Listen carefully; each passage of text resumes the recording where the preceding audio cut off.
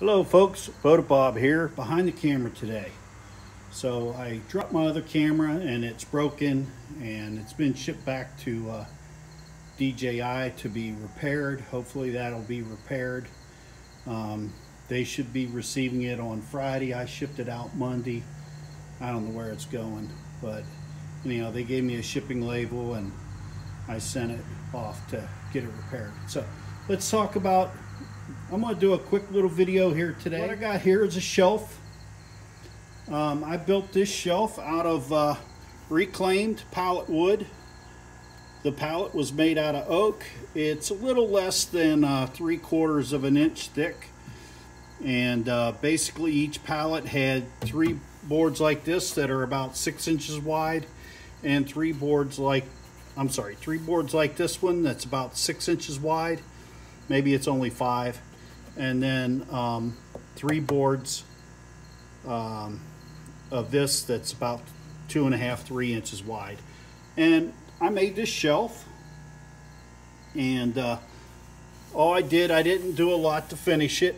Just um, took a, a, random orbital sander, sanded it down, knocked the rough edges off because it was very rough.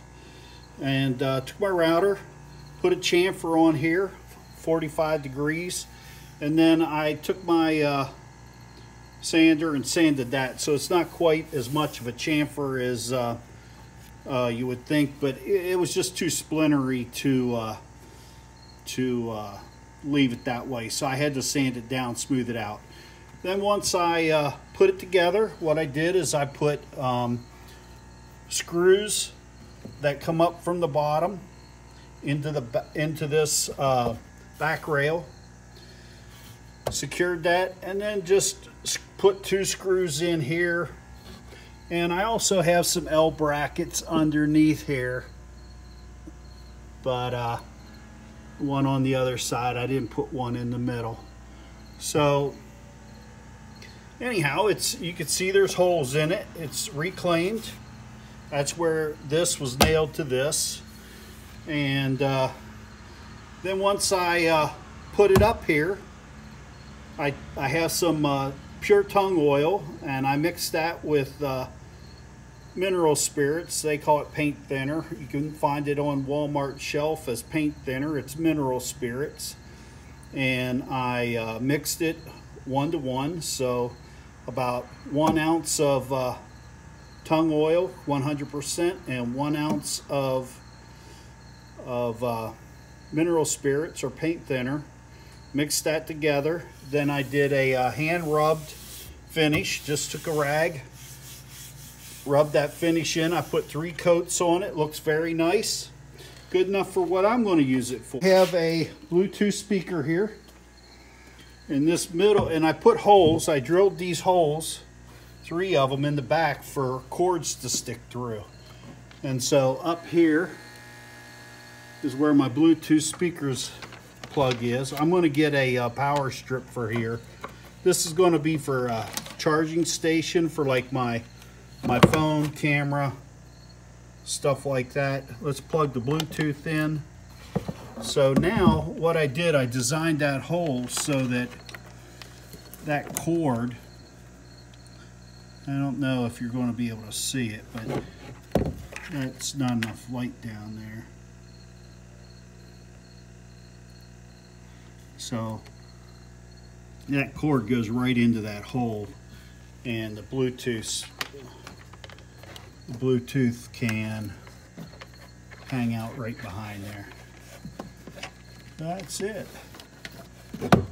And uh, let's recenter this thing. There we go. So that's it. I also wanted to talk about mice traps or a mouse trap and uh, that's the mouse trap I'm talking about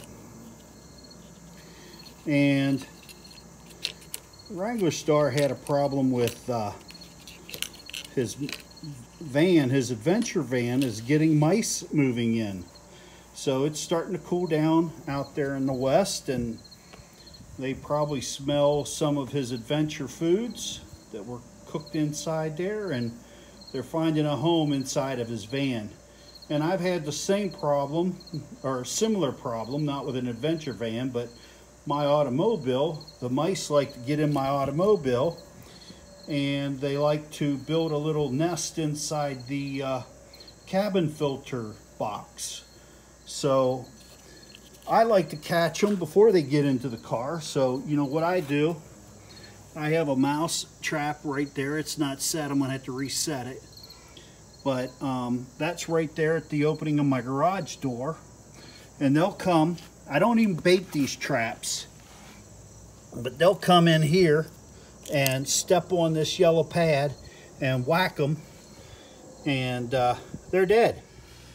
When you set your mouse trap, you know, set the trap, hold it back here, and then if you're going to put these in your house or in your garage, don't stick them in the middle of the floor. Don't stick them in the middle of the bottom of the cabinet.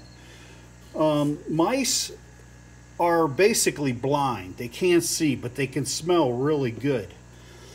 So um, what you want to do is mice will run along the um, edge of a room and then they'll go around. So like if you had a doorway, like I showed you over there with my other trap, you can use that doorway as a pinch point and you know they'll funnel in right along the edge of that door.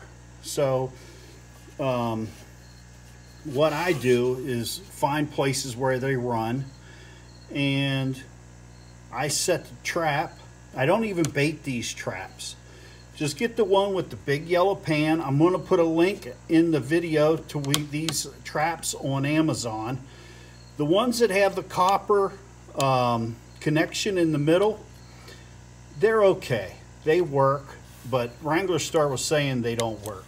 And he's right. They're not as good as maybe that other one. He had a plastic one there. I don't know about that one. I bought plastic ones at Walmart and they weren't very good for me. Let's just put it that way. So I had better luck. I've had great success using these traps and setting them along the baseboard and having the mouse come along and just run across that and get whacked and it kills them. So that's my advice on how to set up mousetrap. I'll put a link in the uh, description. It's going to be a bit.ly shortened link to Amazon. Just go there, see, you get, I. this is a link that'll provide 12 traps for 10 bucks. So I think that's a pretty, less than a dollar a trap. And uh, I think it's a pretty good deal. I usually buy them. Sometimes they don't have them at Walmart like this. I found them over at a local uh, hardware store that's run by the Amish. They've always had these ones with the yellow tray. Um, if you want, you can put a little bit of bait on them, but I don't think it's necessary if you set them the way I uh, described in this video. I'm not an expert at extermination, but I do have a lot of uh, mice and uh, other uh, uh, critters around here that need to be exterminated and I become pretty good at um, catching them. So yeah, that's my uh, mousetrap uh, feed for today. You know, they got a $200 or $100 mousetrap and you know, that's really nice, but I can think of I can think of other things I'd rather spend a hundred dollars on than a mousetrap. So I can buy a hundred of these for a hundred bucks.